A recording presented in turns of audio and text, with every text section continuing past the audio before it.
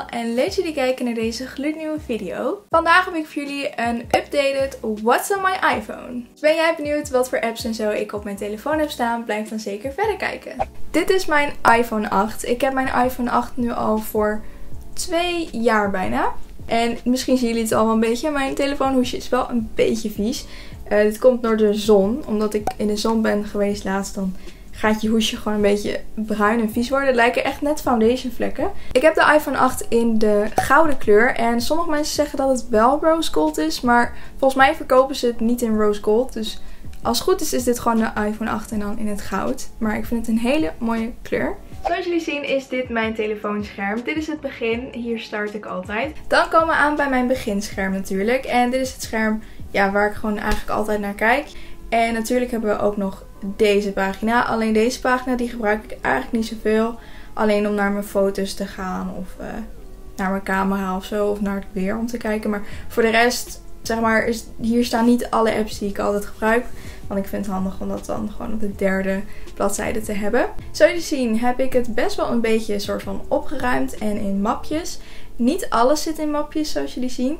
Ik weet niet waarom, maar dit is gewoon wat ik fijn vind en wat ik fijn vind om te werken of zo. Omdat ik denk dat het niet zo interessant is om zeg maar die pagina te laten zien Oftewel deze pagina met alle foto's en zo. Gaan we maar gewoon direct beginnen met de pagina waar ik wel gewoon ja, veel meer mee doe.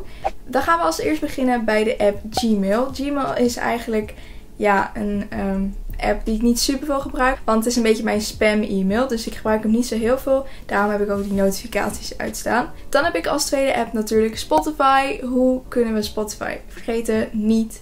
Voor de mensen die me willen volgen op Spotify, dit is mijn Spotify naam. Dan hebben we de derde app en de derde app is Fisco. Fisco die gebruik ik tegenwoordig niet zo heel vaak meer, maar ik vind het nog wel fijn om hem te hebben voor als ik hem nog wel een keer gebruik. Maar kijk, zoals dan deze, deze heb ik laatst nog wel bewerkt. Super cute van mijn konijn.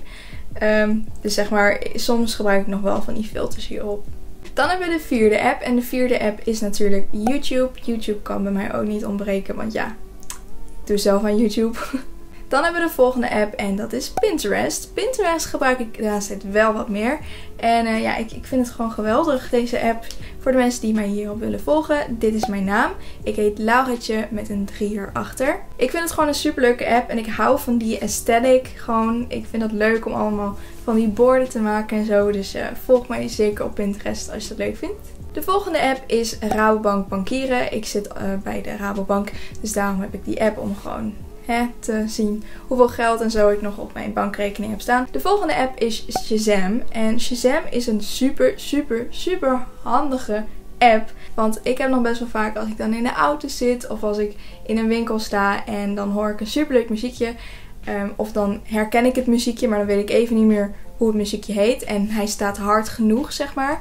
Dan uh, kan je met de app Shazam kan je op deze grote knop drukken. En dan als er muziek speelt, dan hoort hij dat en dan weet hij direct zowat wel welk nummer het is. Dus echt super handig. Dus als je deze app nog niet kende, download hem dan zeker als je die struggle ook wel eens kent. De volgende app is Netflix. Ik ben zo'n persoon die het aan de ene kant best wel fijn vindt om Netflix op zijn telefoon te bekijken. Ik weet niet waarom, want het is best wel een klein scherm. Maar ik weet niet, het heeft wel wat. Dus ben jij ook zo'n persoon die het op zich best wel fijn vindt uh, en die de Netflix app op zijn telefoon heeft?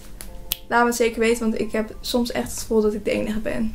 De volgende app is Twitter. En Twitter heb ik eigenlijk alleen maar omdat ik fan ben van Ariana Grande. En dan vind ik het nog wel eens leuk om dan gewoon haar tweets te lezen en zo. Dan gaan we naar het eerste mapje die er staat. Het eerste mapje is namelijk een mapje met allemaal spelletjes die ik op mijn telefoon heb. De eerste app die er alleen staat is geen spelletje. En ik heb ook eigenlijk geen idee waarom ik in dit mapje die app heb staan. Want die hoort er helemaal niet. Maar het is zeg maar een app waarmee je dan allemaal van die spraakvervormende stemmen zeg maar op je filmpje kan doen.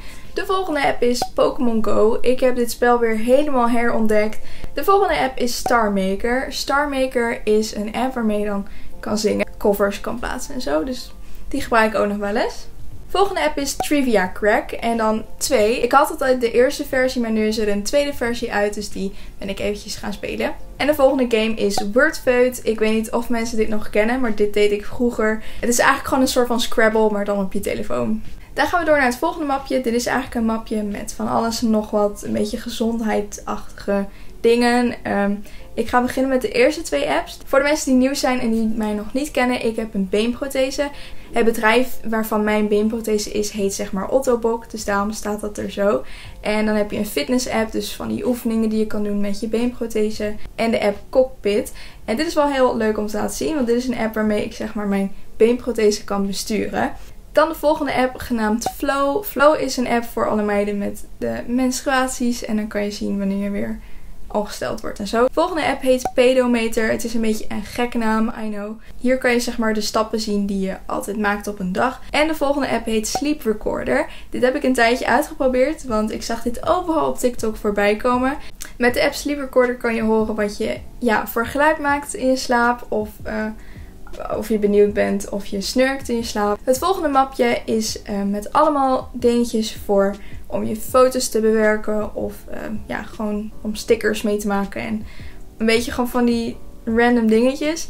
Uh, ik heb allereerst drie apps, namelijk Unfold, Storylux en StoryArt. Dit zijn drie apps die ik dan het meeste gebruik. Unfold gebruik ik het meeste. Dit is echt een super fijne app om je foto's leuk mee te bewerken. Zoals je ziet heb ik dan deze bijvoorbeeld gemaakt. En deze vind ik echt ja, gewoon best wel tof. Dan heb ik Storylux en StoryArt. Het lijkt een beetje op Unfold, maar dan gewoon met nog meer um, ja, andere soorten templates die je er zeg maar kan doen. Dan hebben we iets met camera. Dit is voor mijn camera om mee te besturen en om foto's van mijn camera naar mijn telefoon door te sturen bijvoorbeeld. Dan heb ik Big Days. Met de app Big Days kan je zien over hoeveel dagen je nou ja, een event hebt of over hoeveel dagen je jarig bent. En ja, dit heb ik gewoon al heel lang op mijn telefoon staan. Dan hebben we de app Prequel. En Prequel heb ik een tijdje nou ja, op mijn telefoon. Omdat uh, je daar heel erg van die coole soort van bling effect op je foto's en video's kon doen. Dus daarom had ik die. Dan hebben we Sticker Maker. Sticker Maker. Ik had een tijdje dat ik het leuk vond om stickers te maken voor op mijn WhatsApp. Dus uh, die heb ik er nog op staan. Dan heb ik de app Documents. En met Documents kan je dan allemaal filmpjes downloaden. En dan heb je ze zeg maar op je telefoon staan. Dus van YouTube bijvoorbeeld. En dan heb ik de app Afterlight. Met Afterlight is ja ook gewoon een fotobewerking app. Dan heb ik de app Studio. Met de app Studio is ook een uh, fotobewerking app. Dropbox. Dropbox is ook super handig. Dit had ik een tijdje um, voor mijn fanaccount. Zodat ik filmpjes zeg maar, van mijn laptop bijvoorbeeld naar mijn uh, telefoon kon doorsturen. En dan heb ik nog de app Fonto. En hiermee kan je hele leuke uh, lettertypes op je foto of video plaatsen. Dan gaan we door naar het mapje. En dit is namelijk een mapje voor shoppen. Allereerst heb ik H&M, Zalando, Tiki. Tiki is super handig. Uh, United Wardrobe. United Wardrobe is voor tweedehands kleding. En daar kun je soms nog echt hele leuke dingen van kopen. Dan heb ik Stokart. Met de app Stokart kan je zeg maar allemaal van die kaarten die je hebt van verschillende winkels. Kan je gewoon vanaf je telefoon laten scannen. Zodat je niet alle pasjes mee hoeft te nemen naar de winkel. Dus hele handige app. Dan heb ik uh, een app voor Hema. En mijn Tele 2 is omdat ik daar zeg maar bij zit voor mijn telefoon. En Stradivarius en Shein. Ik heb laatst wat kleding gekocht op de app Shein. En Shein, daar wil ik altijd al wat van bestellen. Dus nu heb ik het eindelijk gedaan. En er komt binnenkort zeker een video van, een shoplog. Abonneer zeker alvast op mijn YouTube kanaal. Zodat jij direct een melding krijgt wanneer ik die video van Shein heb geüpload. En dan gaan we door naar het laatste mapje. Het laatste mapje heeft een beetje te maken met ja, streamingsdiensten en radiodiensten. En um, ja, ook een beetje weer van alles wat. Allereerst heb ik YouTube Studio. Hiermee kan ik alle analytics zien van mijn YouTube kanaal en alle jullie reacties. Dan heb ik subscriber count. Hiermee kan ik zien hoeveel abonnees ik op dat moment heb. Dan heb ik Videoland, RTL XL, Ziggo Go. Dat is om gewoon allemaal programma's van te kijken. En Soundcloud is een app die een beetje lijkt op Spotify, maar dan van uh, ja, andere artiesten. Dus bijvoorbeeld remixes of mashups kan je daarop luisteren. Dan heb ik de app Outlook. Wat ik al eerder in de video zei, is dat ik dus een spam e-mail heb. Maar dit is zeg maar de e-mail die ik echt um, voor, nou ja, gewoon school en zo gebruik. Dan heb ik de app Q-Music als ik dan benieuwd ben naar wat voor liedje er op de radio komt. Omdat ik dan best wel vaak, als ik in de auto zit um, met mijn moeder of mijn vader, dan luisteren we eigenlijk altijd naar Q-Music. Dus dan weet ik een beetje wat voor liedjes uh, op de radio zijn geweest of wat dan ook van Q-Music. Dan heb ik de ene laatste app, namelijk TikTok. TikTok is echt mijn leven op dit moment. Zeker omdat we nu allemaal thuis zitten, kijk ik gewoon heel erg veel TikTok. En als jij mij wilt volgen op TikTok, doe het dan zeker. Dit is mijn naam op TikTok. En dan heb ik nog Kim Kardashian. Kim Kardashian is echt een superleuk spel. Het is zeg maar een spel um, waar je zeg maar famous op bent. En je moet dan steeds hoger in de ranglijst komen. En uh, je moet gewoon heel veel fans proberen te verzamelen. En dan hebben we natuurlijk niet te vergeten nog het onderste balkje. Het onderste balkje, daar heb ik als eerst natuurlijk WhatsApp. Dan heb ik Instagram. Als je me nog niet volgt op Instagram, doe het dan zeker. Dan heb ik Snapchat. Snapchat kunnen we natuurlijk ook niet vergeten. En dan als laatste heb ik dan nog de app Safari. En dit is mijn achtergrond met uh, twee van mijn beste vriendinnetjes. Dit was dan de video. Ik hoop dat jullie het een leuke video vonden om te zien wat voor apps ik op mijn telefoon heb. Uh, als jullie dit leuk vonden, doe dan zeker een blauw duimpje omhoog. Laten we gaan voor de 50 likes. Dus Doe allemaal zeker dat blauwe duimpje omhoog. Vergeet ook zeker niet te abonneren op mijn YouTube kanaal door op de rode abonneerknop hier beneden te drukken. En laat me in de reacties weten wat voor telefoon jij hebt. En dan zie ik jullie weer bij een nieuwe video. Doei doei!